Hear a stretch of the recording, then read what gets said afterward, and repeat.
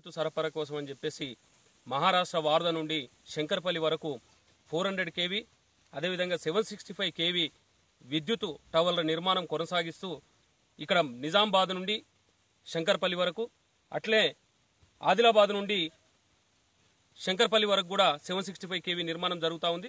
ఈ జరుగుతున్నటువంటి నిర్మాణ క్రమంలో కేంద్ర ప్రభుత్వ గైడ్ లైన్స్ ప్రకారం రాష్ట్ర ప్రభుత్వంలోని భాగస్వాములైనటువంటి కలెక్టర్ల ఉత్తర్వుల ప్రకారం విద్యుత్ సంస్థలు రైతులకు నష్టపరిహారాన్ని చెల్లించి ఈ యొక్క విద్యుత్ సవాళ్ళ నిర్మాణం చేపట్టాల్సినటువంటి అవసరం ఉంది.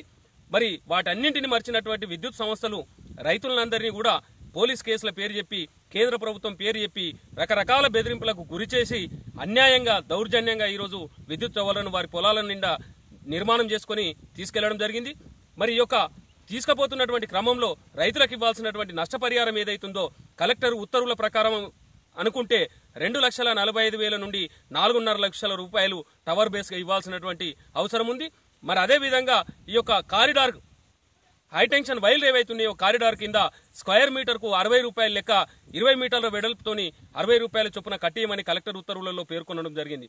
మరి అదే విధంగా కేంద్ర ప్రభుత్వం గైడ్లైన్స్ను పరిశీలించినట్లయితే కలెక్టర్లకే అధికారాన్ని కేంద్ర ప్రభుత్వం కట్టబెట్టింది. మరి ఆదిలాబాద్ జిల్లాలో ఒక రేట్లు ఉండొచ్చు నిజామాబాద్లో ఒక రేటు ఉండొచ్చు మెదక్లో ఒక రేటు ఉండొచ్చు కాబట్టి లోకల్గా కలెక్టరే కలెక్టర్లే ఈ యొక్క నష్టపరిహారాన్ని టవర్ బేస్ నష్టపరిహారాన్ని నిర్ణయం తీసుకోమని చెప్పి కలెక్టర్లకు ఉత్తర్వులలో పేర్కొనడం జరిగింది. మరి అదే విధంగా కేంద్ర ప్రభుత్వం గైడ్ లైన్స్ ప్రకారము కారిడార్ కింద స్క్వేర్ మీటర్కు అరవై రూపాయల చొప్పున ఫోర్ హండ్రెడ్ కేవీ అయితే నలభై మీటర్ల వెడల్పుతోని మరి అదే విధంగా సెవెన్ సిక్స్టీ ఫైవ్ కేవీ అయితే అరవై ఏడు మీటర్ల వెడల్పుతోని స్క్వేర్ మీటర్కు అరవై రూపాయలు రైతులకు నష్టపరిహారం చెల్లించమని పేర్కొనడం జరిగింది. మరి అదే విధంగా వీటికి బదులు చెట్లు వచ్చినా పంట వచ్చినా ఏ నష్టం జరిగినా కూడా ఆ యొక్క డిపార్ట్మెంట్లను ఆ, డిపార్ట్మెంట్ల సూచన మేరకు రైతులకు నష్టపరిహారం చెల్లించాలని కేంద్ర ప్రభుత్వం స్పష్టంగా చెప్పడం జరిగింది. మరి అదే విధంగా రైట్ ఆఫ్ వే కింద ఈ యొక్క కారిడార్ కింద ముప్పై ఐదు సంవత్సరాల పాటు రైతులకు నష్టపరిహారాన్ని చెల్లించాలని చెప్పి కేంద్ర ప్రభుత్వం ఉత్తర్వులలో పేర్కొన్నది. కానీ ఇవన్నింటిని కూడా కలెక్టర్ గారు పక్కన పెట్టి సింపుల్గానే రెండు లక్షల నలభై ఐదు వేలు మూడు లక్షల పదిహేను వేలు మూడున్నర లక్షలు నాలుగున్నర లక్షలు నాలుగు కేటగిరీలలో రైతులకు నష్టపరిహారం చెల్లించమని కలెక్టర్ ఉత్తర్వులు ఇవ్వడం జరిగింది. అదేవిధంగా స్క్వేర్ మీటర్కి ఇరవై రూపాయలు ఇరవై మీటర్ల వెడల్పుతో అరవై రూపాయలు చెల్లించాలని చెప్పడం జరిగింది. కానీ ఇది ఇచ్చినటువంటి ఉత్తర్వులు ఆరు నెలలు గడుస్తుంటే కూడా ఇప్పటి వరకు ఎక్కడ కూడా కలెక్టర్ ఉత్తర్వులు అమలు కాలేదు. అదేవిధంగా కేంద్ర ప్రభుత్వ గైడ్ లైన్స్ను కూడా విద్యుత్ సంస్థలు ఎక్కడ పాటించలేదు. ఈ యొక్క ఆరు నెలలుగా రైతులతోని మేము కలిసి తెలంగాణలోని అన్ని జిల్లాలలో రైతులతోని రకరకాల పద్ధతులలో నిరసన కార్యక్రమాలు చేపట్టినాం. అయినప్పటికీ కూడా రాష్ట్ర ప్రభుత్వం కానీ కలెక్టర్లు కానీ ఇప్పటి వరకు కూడా కదలిక లేనటువంటి పరిస్థితి. ఇప్పటి వరకు కూడా రైతులకు నష్టపరిహారం చెల్లించలేనటువంటి పరిస్థితి. మరి ఇదివరకు నిన్న మొన్న కలెక్టర్ ఆఫీస్ దగ్గర మేము పాదయాత్ర చేయడం జరిగింది మెదక్లో. కలెక్టర్ కార్యాలయం వరకు శాంతియుతంగా రైతులతో కలిసి రైతులకు నష్టపరిహారం చెల్లించాలని మేము పాదయాత్ర నిర్వహిస్తున్నటువంటి క్రమంలో కలెక్టర్ ఆఫీస్ ముందు నాలుగు గంటల సేపు రైతులు ఎండలో పడిచచ్చినా కూడా కలెక్టర్ గారు వచ్చి ఒక మాట చెప్పకుండా కనీసం రైతుల బాధ కూడా విననటువంటి పరిస్థితులలో అక్కడికి మేము వెళ్ళినందుకు మా మీద ఉల్టా రైతులందరినీ కలుపుకొని మా అందరి మీద కూడా కేసులు పెట్టడం జరిగింది. ఈనాడు పోలీస్ స్టేషన్ పిలవడం జరిగింది. అయినా రైతులందరూ కూడా చైతన్యవంతులై మేము ఐదు వందల మంది రైతులం కలెక్టర్ ఆఫీస్కి వెళ్ళినాం. మా ఐదు వందల మంది పైన కేసులు పెట్టండి. మేము బాధిత రైతులం ఆరు వేల పై చీలుకున్నాం. మా ఆరు వేల మంది మీద కేసులు పెట్టండి.